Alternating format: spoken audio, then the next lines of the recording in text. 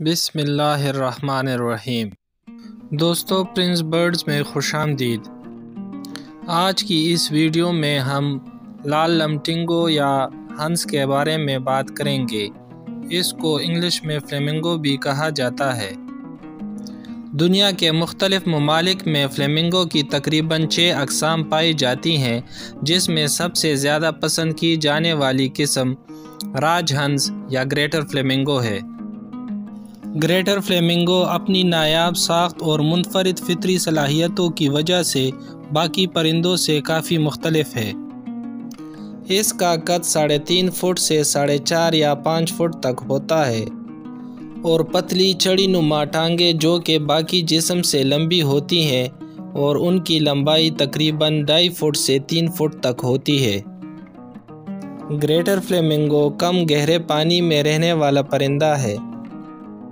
इसकी गर्दन खमदार और चोंच लंबी होती है और ये अपनी चोंच पानी में डबोकर इस तरीके से हरकत देता है कि छोटे कीड़े मकोड़े इसकी चोंच में आ जाते हैं जबकि पानी निकल जाता है।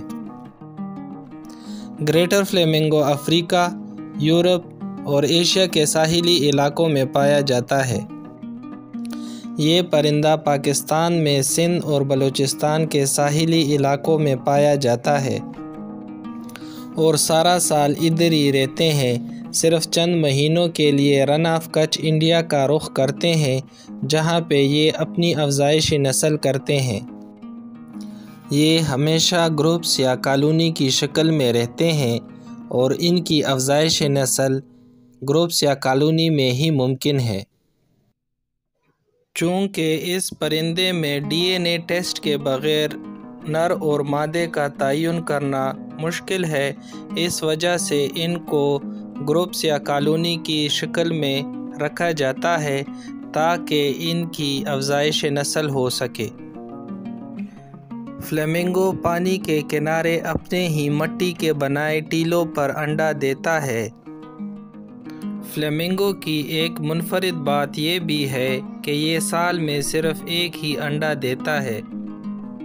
ये अंडा हैचिंग में तकरीबन 25 से 30 दिन लेता है और जब अंडों से बच्चे निकल आते हैं तो छः माह तक अपने पेरेंट्स से खुराक लेते हैं।